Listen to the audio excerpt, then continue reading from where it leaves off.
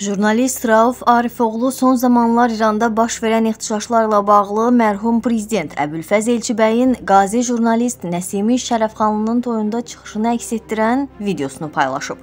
Əbülfəz Elçibəy sanki bu günümüz üçün yanımızda dayanaraq danışır deyə Arifoğlu qeyd edib. Həmin görüntüləri təqdim edirik.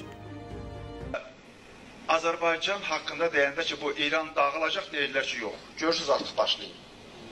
Artıq mümkün deyil, İran öyle saxlamaq olmaz. O rejim yaşamayacaq. O rejim, rejim yaşamağa qabil deyil. Ya gərək dəyişməlidir islahatına, onu apara bilmirlər. İslahatla aparıb yuxarıdan dəyişdirə bilməyəcəksənsə, aşağıdan dəyişdiriləcək, o rejim dağılacaq. O zaman Azərbaycan müstəqil olacaq. Biz ona da hazır olmalıyıq ki, Azərbaycanın güneyində baş qaldıran xalq hərəkatımıza əlimizi uzadaq, yaxından kömək edək, o səsi dünyaya duyuraq və özümüz də və yaxud iştirak edək. Bunu bütün dünyanın tarixçilərin hamısı yazır. Ki 1906-11-ci illərdə Təbrizdə baş verən Sattarxan hərəkatında, hətta bu Leninin sözüdür, indi herhalde o sözü bu cür ifadə edir.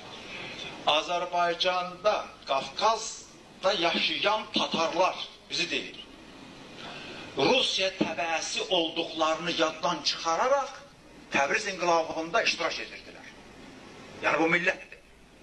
Bunu burjuaziya, bunun nədir, imperiya qabağını ala bilmədi. Həmin vaxt ala bilmədi. Bundan sonra da ala bilməyəcək.